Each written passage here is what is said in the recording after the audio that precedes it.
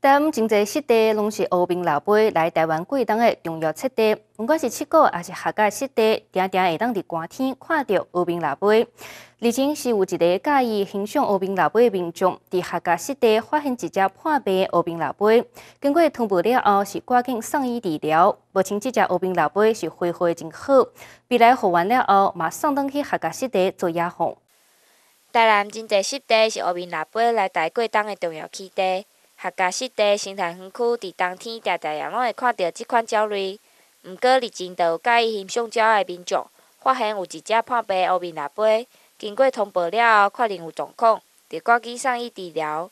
有一位鸟友叫庄张氏顺雄教授哈，他非常喜欢黑面琵鹭，所以他来这里拍。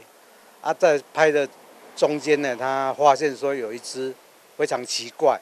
啊，所以就通知我，啊，通知我就马上赶过来，发现他已经都不能飞，只有政策而已，所以我就决定下去下去抓。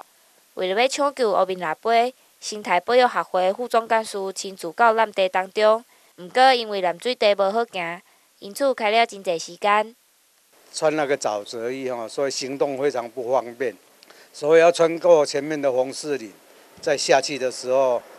到到的目的地看到鸟的时候，要要抓它，但是要抓它的时候刚好陷入那个泥沼泥滩地，就没办法起来。这左脚如果要抬起来，右脚要渗渗下去，因为它非常泥泞，非常而且非常深，所以走一步差不多要五分钟才才可以走出来。经过上医了后，目前这只乌面腊飞恢复了真好，未来编号完成了后。也会送登去到客家湿地野放。记者什么？客家区采访报道。